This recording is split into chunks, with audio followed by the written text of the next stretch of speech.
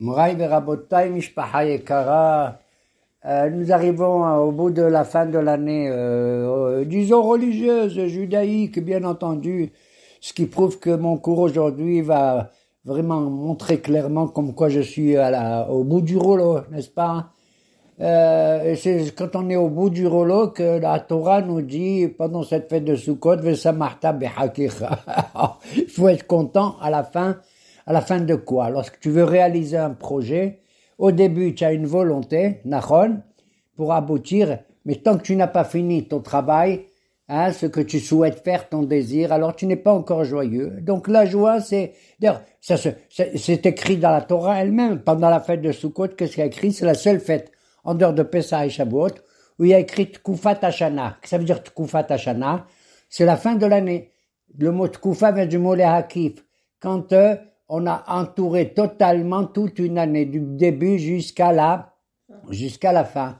Et alors donc, c'est à la fin, apparemment à la fin de chaque euh, volonté, de chaque ouvrage, qu'on éprouve la joie réelle et totale, bien entendu. Euh, ceci, ça, ça me rappelle euh, une discussion une fois entre un, un, un non-juif, un goy et un juif. Et le goy, il a dit au juif, vous savez, nous on fait des fêtes, on est seul, on est content tout seul pour notre fête.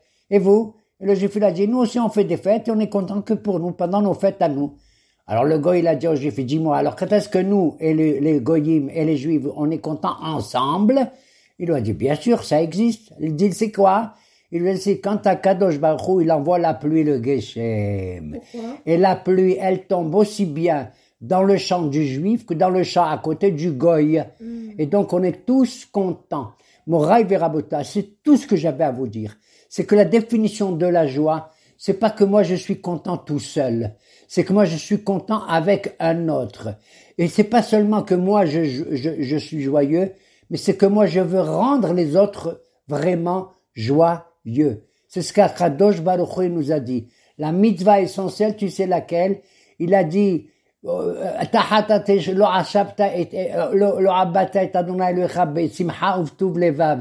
tu sais, s'il t'arrive des ennuis, c'est parce que tu n'as pas adoré le bon Dieu avec la joie, avec la simcha, ubtuv lebav, et avec un cœur qui est généreux et bon.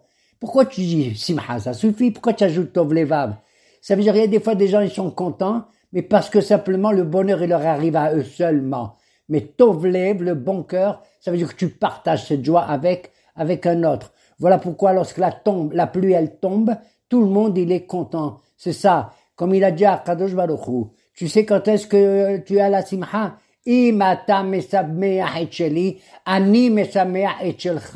Si toi tu réjouis ceux qui sont à moi, moi je réjouis ceux qui sont à toi. Quels sont les gens qui sont au bon Dieu que je veux, qu'il veut que je réjouisse? Qui c'est? Il a dit, c'est Hagir, Ayatom, Almana, Alévi, les malheureux qui sont seuls, le guerre, l'étranger, la veuve, l'orphelin, et le Lévi. Parce que le Lévi, il n'a pas de Nahala, il n'a pas d'héritage. Ok? Si toi, tu réjouis ceux qui sont mes préférés, pour ainsi dire, alors moi, je réjouirai les tiens à toi. Qui c'est les tiens à toi? C'est ton fils, ta fille, ta servante et ton serviteur. Nachon Donc tu vois que la joie, elle doit se partager l'un vis-à-vis de l'autre. Tu comprends? Qu'est-ce que ça veut dire philosophiquement, l'un vis-à-vis de l'autre? Nous vivons dans un olamazé et on attend le olamaba. Nous sommes d'accord? Je suis dans ce monde-ci, mais moi j'espère une joie réelle, totale, pleine. Je suis pas encore au olam- au olamaba. D'où je le sais, c'est qu'il y a un conflit, une guerre totale entre ma volonté, mon désir, mon effet, ma neshama, vous comprenez? Et la nature, le teva où je vis dans ce olamazé. Le teva, il se répète. Le teva, il, il ne change pas. Le soleil se lève à l'est et se couche à l'ouest, et la nuit et le jour, etc. Le blanc et le noir. Nachon. Et je suis dans un monde que je ne maîtrise pas. Il ne correspond pas à ma volonté, à mon désir. Je voudrais, la nature, elle me commande. Alors que moi, je voudrais avoir aussi la volonté. Comme si Akadosh Baruch avait créé le monde au début, moi aussi, je peux pour ainsi dire créer les événements dans lesquels je vis. Pas que je subis ce que la nature elle fait. Le teva anim mutba, je suis, comme on dit, je suis un noyé, enfoncé, nachon. Et c'est ça la joie. Mon raï rabotaï. La joie, c'est d'essayer d'unifier à la fois ma volonté, c'est-à-dire mon effet, ma neshama, ce que je veux moi, en tant qu'être qui est créateur et pas seulement un être créé, avec la nature. Tu comprends? Mm-hmm. La nature, elle est imperturbable. Elle ne bouge pas, elle est la même comme ça. Et alors, à ce moment-là, quand je réunis à la fois ma volonté, mon désir avec la nature qui échange pas, c'est la vraie joie. Comment? La mauvaise joie, tu sais ce que c'est? Des fois, il y a des gens, là, ils, croient que la simha, c'est de rire. Il y a plusieurs sortes de rire. Mais il y en a un qui est affreux. Tu sais lequel? C'est quand tu vois, par exemple, un homme, il marche, et brusquement, il y a une tuile qui lui tombe sur la tête. D'accord? Ou alors il marche, il trébuche, mesquine, hein, devant un obstacle, il tombe. Et qu'est-ce qu'ils ont les gens? Ils se mettent à rire. Pourquoi tu te mets à rire? C'est honteux. Tu te mets à rire parce que tu vois comment la nature, elle est terrible. Elle a gagné qui? Un être humain qui a de l'intelligence. Tu as compris? Qui a une volonté, qui a une liberté. Cette joie, je ne l'aime pas. Tu comprends? Je préfère une joie où la nature et l'esprit sont ensemble conjugués. Ils se marient réellement, totalement ensemble. C'est ça que ça veut dire que pendant la fête de Sukkot, n'est-ce pas, on fait ce qu'on appelle la Simhat Betashoeva. C'est quoi la Simhat Betashoeva À l'époque, quand le temple existait, ils allaient tous, ils mettaient des enfants, tu te rends compte des enfants, des gamins sur des taureaux qui s'assoient comme ça, et ils allaient au petit fleuve qui s'appelle le Shiloh en bas de Jérusalem, et avec un gobelet, ils ramassaient de l'eau, ils puisaient, Shoeva, puisaient, il puisait un peu de l'eau, après il remontait jusqu'au Betamikdash, et le Cohen, il prenait le gobelet, tu sais ce qu'il faisait? Un petit peu d'eau. Il y a deux trous en haut, au, au, sommet du, du, de l'hôtel, à UTEL, Nachon. Il y avait comme ça deux petits trous. Un où tu verses du vin, ça s'appelle Nisuch Ayayin, la libation de vin, comme quand, quand tu fais les corbanotes, Nachon. Et il y en a un autre trou un peu plus étroit où tu verses de l'eau une fois dans l'année à la fête de Sukkot.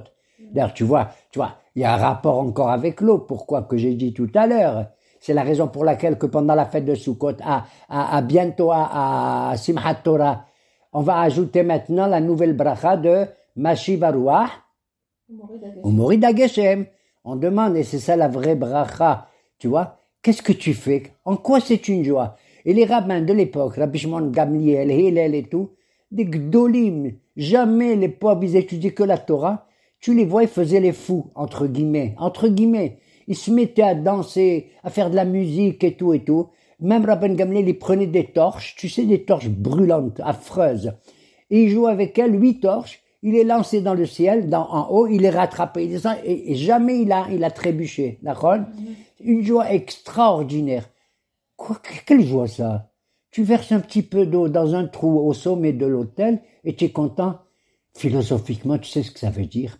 Ça veut dire que quand Akadosh Baruch Hu, il a créé le monde, il a créé le monde, et le deuxième jour, c'est le jour d'ailleurs, il n'y a pas écrit Kitov, c'est-à-dire que pour le troisième jour, Paramaim Kitov Nachon. Pourquoi on ne dit pas Kitov le deuxième jour? Le monde est déchiré en deux. À cause de quoi? Tu sais à cause de quoi? À cause de l'élément le plus vital qu'il y a au monde. C'est quoi l'élément le plus vital qu'il y a au monde? C'est l'eau. Tu peux rester trois jours sans manger. Tu peux rester euh, euh, euh, de, je sais pas combien de temps sans boire de, ne pas respirer, tu peux pas. Mais l'eau, c'est plus important que la nourriture elle-même. Et Dieu, il a séparé les eaux d'en haut avec les eaux d'en bas. C'est pas normal. T'as compris? Maïm et maïm Et l'eau d'en bas, dans les mers, elle se met à pleurer. C'est pour ça qu'elle est salée. Elle a des larmes comme dans nos larmes, d'accord? Elle voudrait l'eau d'en bas rejoindre l'eau d'en haut et l'eau d'en haut rejoindre l'eau d'en bas. La réunification du même élément, du même élément.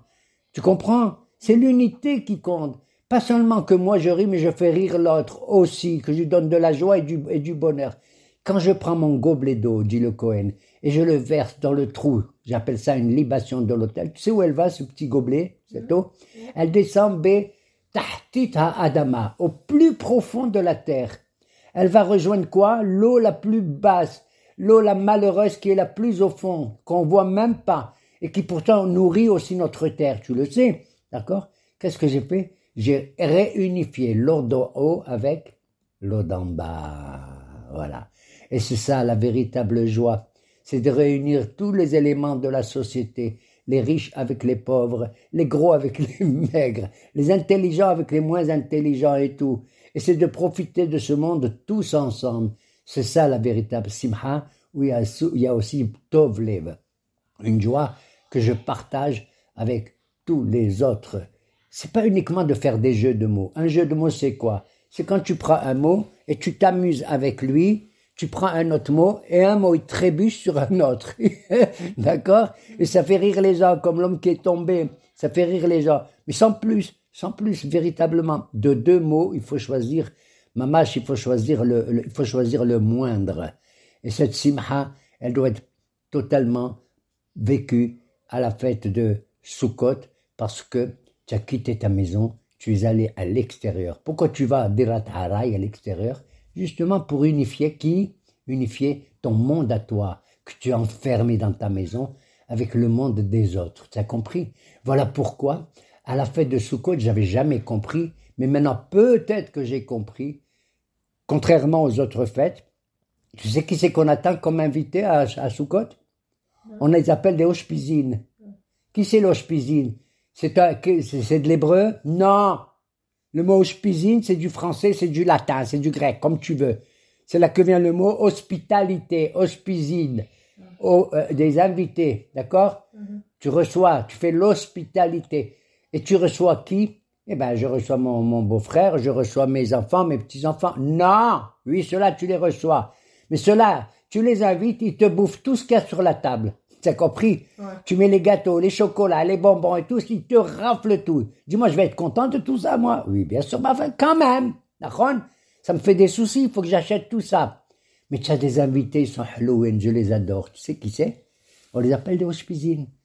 Et chaque jour, on dit, Léol Abraham, qui rentre Abraham, Abinu, Yitzhak, Nachol, le troisième jour, c'est Yaakov. Après Moshe, après Aaron, le cinquième jour. Le sixième jour, c'est Yosef. Et après le septième, c'est David. Les sept jours de la fête de Sukkot.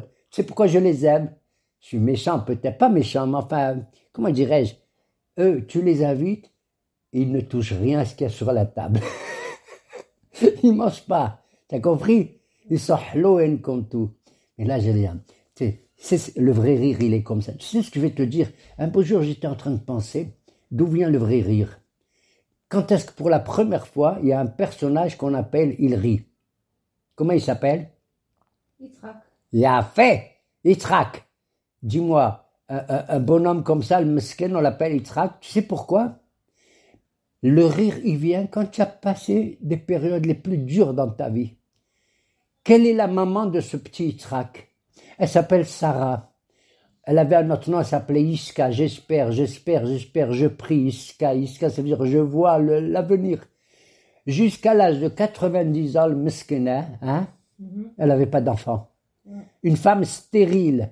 De nos jours, tu vois, une femme s'est mariée, la pauvre. Trois ans, elle n'a pas d'enfant. Elle va voir les docteurs, elle va voir le psychologue, elle va voir Nahon, tout ça. 90 ans. Et lui, Abraham, quel âge il avait? 100 ans. Nahon, 99 ans. Et au bout de 90 ans, il y a des types qui arrivent, des hospizines, des anges, des hommes, hein, et ils disent Abraham, Abraham, il leur fait à manger, il les reçoit et tout. Ils dit eh, eh, elle est là ta femme? Oui, elle est, elle est dans la tente, elle est dans la maison là-bas. Elle prépare, elle fait à manger des, des knedlettes et des labia et des millefeuilles, et des croissants pour vous. Tu lui, tu vas dire à ta femme, l'année prochaine, à la même période que maintenant, elle va avoir un bébé. Quoi? Alors Abraham, elle entend ça. Qu'est-ce qu'elle fait, Sarah? Elle rit. Oui ou non? Incroyable. J'adore ce rire. Tu as vu? C'est un rire profond. C'est un rire, c'est contre la nature. C'est pas vrai. Moi, je suis une femme stérile. Je suis sèche. Je suis comme un désert qui donne aucun fruit, aucune plante, rien du tout. Rien. Et brusquement, qu'est-ce qu'elle se fait? Sans qu'elle le comprenne du fond d'elle-même, Sarah Bekirba. Sarah Larry, tu sais où? Bekirba. Elle était la seule à entendre le rire qu'elle avait en elle, ce bonheur et cette joie. Est-ce qu'elle croyait ou, elle croyait pas? Je suis sûr qu'elle croyait, tu sais, ma fille. Je suis sûr. Mais c'est tellement l'opposition entre la nature de la stérilité. Je suis, je, je vaux rien du tout. Je suis une femme sans rien. Je suis un bonhomme sans rien. Et brusquement, tu vois comment Kadosh Baruch il vient te secouer. Et tu sais, elle a dit, dès que j'ai un enfant, tu sais, Abraham, quoi? Elle tu sais comment je vais l'appeler? Yitzhak. Il va rire. tu te rends compte? Bémet, on va l'appeler, on va l'appeler comme ça Yitzhak. Et c'est comme ça ce que je souhaite vraiment à nous tous que nous dépassions et que nous réunissions, nous réunifions véritablement les moments les plus durs que nous vivons avec, avec ça. Voilà pourquoi on reçoit les, les on reçoit ces invités d'honneur. Tu te rends compte, le passé le plus lointain, il vient te dire bonjour, il vient te sourire, qui Abraham le premier jour, avec le Hesed, euh, Ishaq avec le din, chacun avec la valeur qu'il a. Parce que chaque juif, il a une qualité. On n'a pas toutes les qualités. Tu as compris? Mm-hmm. Abraham, c'est Hesed. Ishaq, c'est Gebura ou din. Yaakov, c'est Emet et Rahamim. Moshe, c'est Nesach, l'éternité. Euh, comment il s'appelle? Aaron, c'est quoi? C'est Hod, c'est la majesté. C'est le prêtre par excellence, Nachon.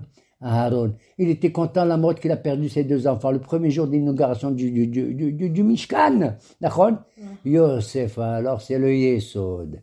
Ce juif-là qui rêve et tout, il passe son temps à rêver des grandeurs et tout. Où est-ce qu'il va vivre? Il va en Égypte. Tu sais où va aller ses grandeurs?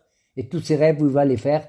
Il va les faire 12 ans dans une prison. D'accord mais finalement, au bout du compte, il va devenir le vice-pharaon. Yosef, c'est le Yesod, c'est le fondement.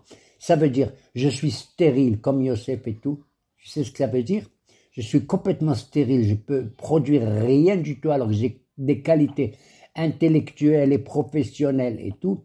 Et brusquement, c'est le Yesod. C'est-à-dire, je suis le fondement de quelque chose qu'on ne voit pas. Tu sais ce que ça veut dire le Yesod pour un couple, pour un homme et une femme? C'est l'accouplement. C'est d'attendre un bébé. C'est de réunir à la fois le concept qu'il y a entre l'homme et la femme. Tu comprends? C'est Yosef. Il ajoute quelque chose auquel tu t'attends pas. Yosef, il ajoute. C'est le fondement de tout, le yesod de tout. Et à la fin de toutes ces, qualités qu'on a énumérées des Ushpizin, il y a le dernier, Allah Shalom, c'est David, Melech Israël. Lui qui a composé le psaume de Sukkot, c'est lequel, c'est lequel? Lisez le psaume 42, même bête, qui dit quoi? Moi, j'ai cru qu'il allait parler d'un homme qui, pas du tout, tu sais de qui il parle, le psaume? Qui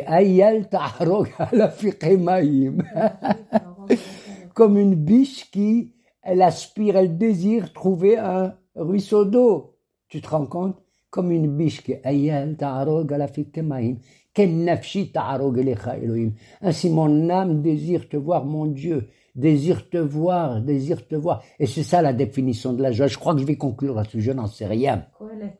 Tu sais pourquoi? C'est la vraie définition de la joie, sans jeu de mots. C'est la rencontre qu'il y a entre moi et qui maintenant? Pas la bouffe, pas la nourriture, pas le, bonheur, pas l'argent uniquement, pas l'or et pas tout ça.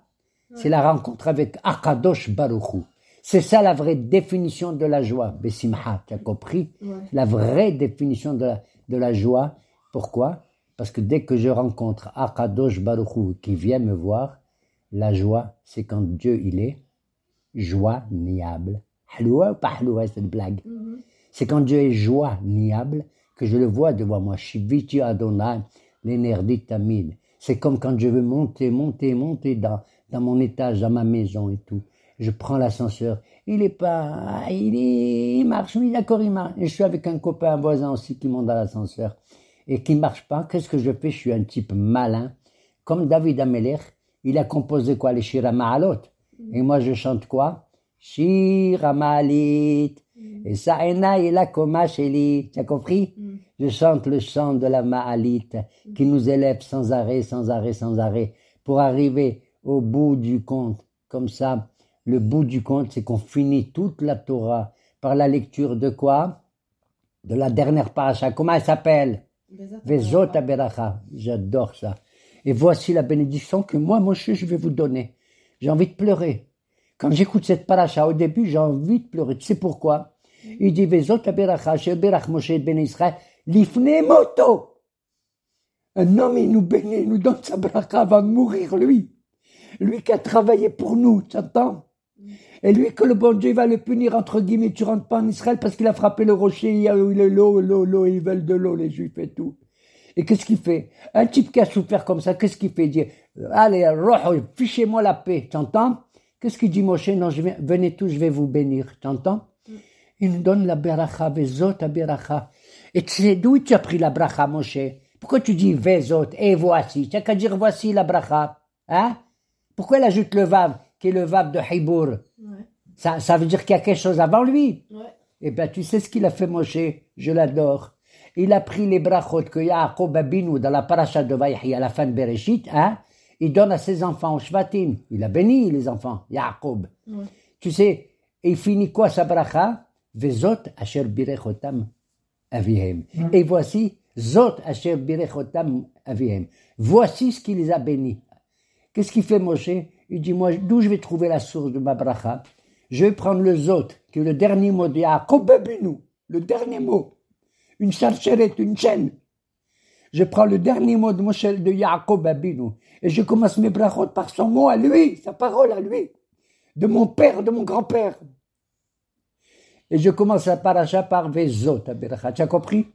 Il a pris le dernier mot de Yaakov pour euh, devenir le premier mot de lui. Le dernier mot de mon père, c'est le premier mot de moi. Et tu sais comment il termine la, la, la bracha Lui dit Moshe Rabbeinu qui bénit tous les, les douze tribus, d'accord? C'est Troufat à la totalité du monde, pour ainsi dire. Aussi bien Reuben que Shimon Lévi qui se ressemblent, aucun il ressemble à l'autre, les, les, les, les douze enfants de Jacob. Les douze tribus, aucun il ressemble à l'autre. les uns, c'est des, comment on appelle, des électriciens, les autres, c'est des Talmud Haramim, les autres, c'est des bonnets, c'est des, constructeurs de maisons. Chacun, il avait ses qualités et tout. C'est ça, le vrai peuple, le vrai peuple d'Israël. Il commence par Vezot. Il a pris le Zot de Yaakov. Tu sais par quoi il finit? Ashrecha Israël. Tu sois heureux, mon peuple juif. Ashrecha Nachon. Il est arrivé après, plus tard, plus tard. Tu sais comment il s'appelle? David Ameler il a composé la bracha les plus belles, ce qu'on appelle les Teilim. Que vous, les femmes, vous adorez surtout les Teilim, Nachon. Toi, tu vois une femme, tu sais qu'elles font toutes les femmes, elles adorent les Teilim. Je sais pas, elles sont plus religieuses que les hommes.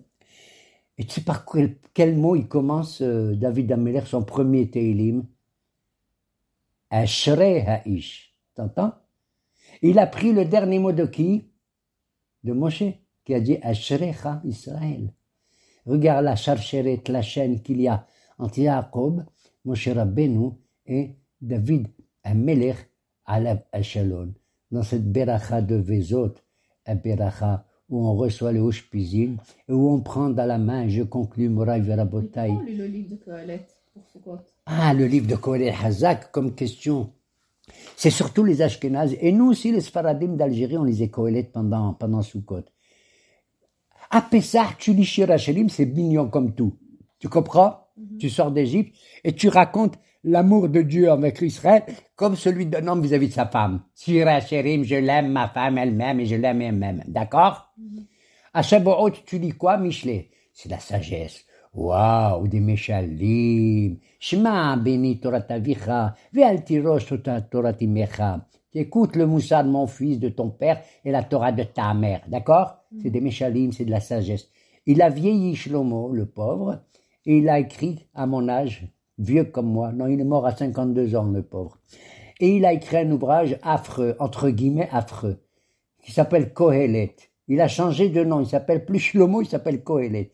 Et là-bas, qu'est-ce qu'il dit? Mes enfants, mes enfants, mes enfants. Hevel havalim, akol, hevel havalim, akol hevel vanité des vanités, vanité des vanités, tout est vanité. En tout, je compte combien il y a de vanités? Sept. Une et deux, ça fait trois. Une et deux, ça fait trois, six. Une, d'accord? Mm. C'est par rapport aux sept jours de la, de, de, la semaine, d'accord? Si tu veux. Chaque jour, il a son caractère, sa qualité et tout et tout. Il te dit, il n'y a rien de neuf sous le soleil. Hier, il y avait quelque chose, c'est pareil aujourd'hui. Et demain, ça va être pareil qu'aujourd'hui et tout. Tu te rends compte? Tous les fleuves, je les vois couler. Ils donnent la vie, soi-disant, mais ils vont vers la mer. et la mer, elle est elle n'est pas pleine. Ça veut dire, c'est vraiment, c'est désespéré comme livre, Nachon Maman, c'est désespéré. Après, il dit, la simha mazorosa, et la joie, qu'est-ce que ça m'apporte Et moi, j'ai connu des palais, et j'ai connu des, des jardins, et j'ai connu de la bouffe, j'ai eu des princes, des princesses, j'ai eu des serviteurs, j'avais tout de l'argent. Du temps de moi, Shlomo, l'argent il était plus important que les pierres. T'entends mm. Euh, c'est comme des pierres, tout ça. Pourquoi il a écrit Kohelet? Il a écrit Kohelet, à mon avis, je crois qu'il faut regarder le côté positif de cet ouvrage.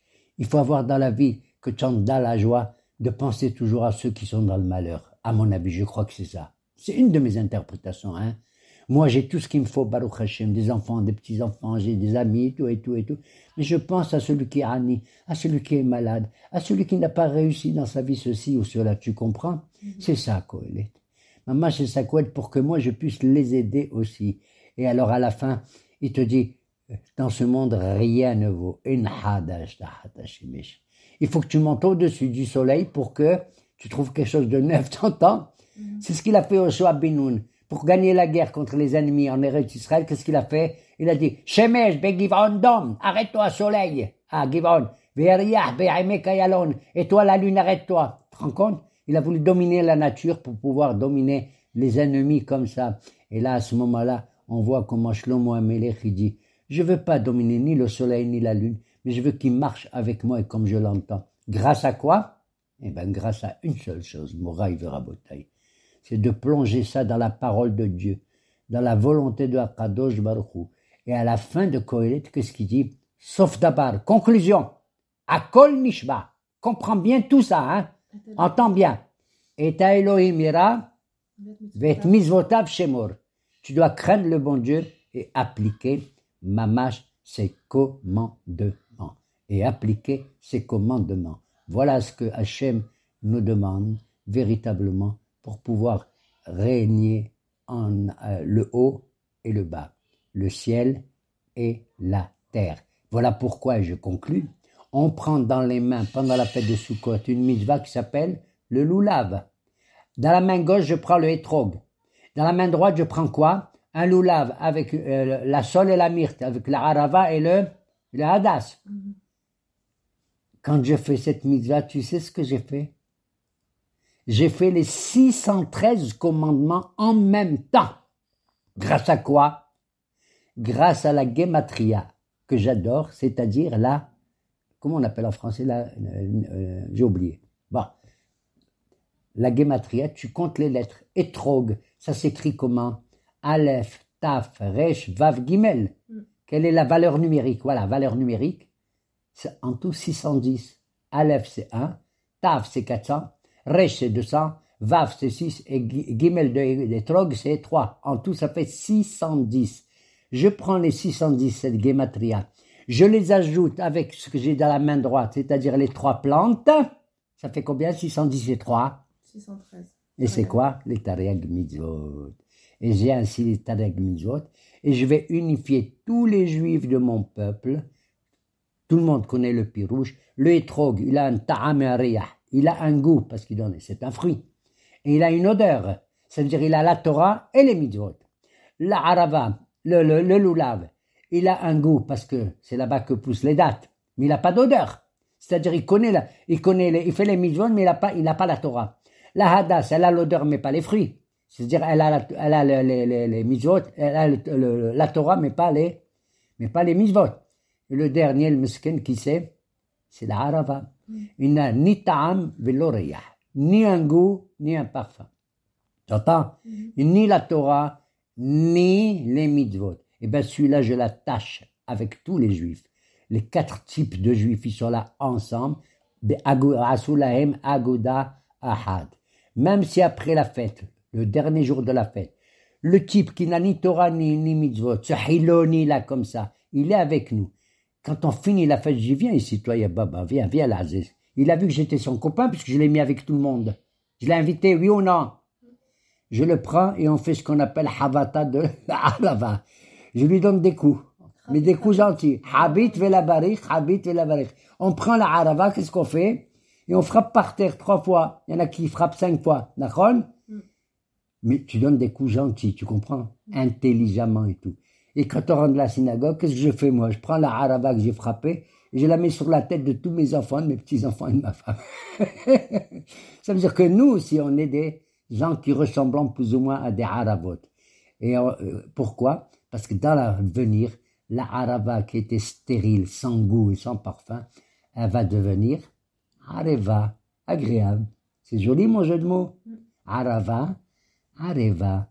Allez, Erev Tov, Shana Tovam, Borechet à vous tous. Au revoir.